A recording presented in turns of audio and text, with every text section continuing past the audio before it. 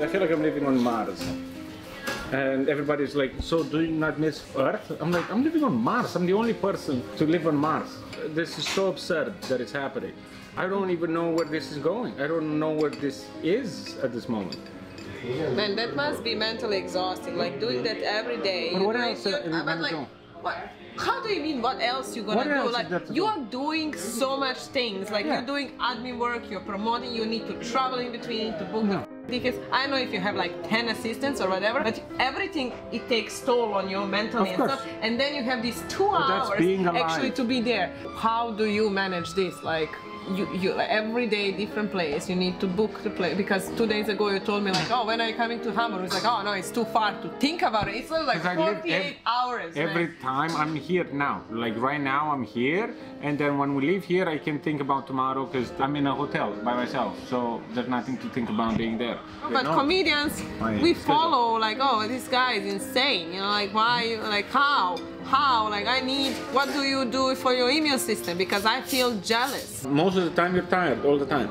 But this is the thing, to do something in your life that's interesting and exciting and it makes you feel good. I'm doing absolutely I'm like- everything that I want to do. And I feel connected to all of these people. Like I'm not alone. Because people come because they know me online and maybe it's a superficial thing, but I talk to them, I get to know them, I ask their, them their name, I have a little conversation. And when I come back, you know what happens? They come back. People write to me all the time, like, hey, how are you feeling? Are you not tired? Are you feeling okay? What drives you to? What's behind your beard? Like, do you just like? It's a face. Behind my beard is a face. I know it's behind your beard is a face, but like, how long are you gonna? When do you cut it? Like, I don't know. how often do you wash Do you, it? do you really think of things like I'm gonna wear this shirt until tomorrow at 3 p.m.? course. Really? yeah. I don't. It creates a certain image. You cannot Yeah, like disagree with that. Yeah. You know. You know. See, now you're paying more attention to what I'm saying because of the beard. You're engrossed by the hairs in my face.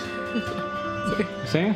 Otherwise, you'd be distracted by the Vietnamese music. I don't know what I'm distracted more by your accent, your beard, your oh, Well, eyebrows, yeah, exactly. or whatever. Like the least I see your face is actually. Anyway, should we eat? You should eat, guys.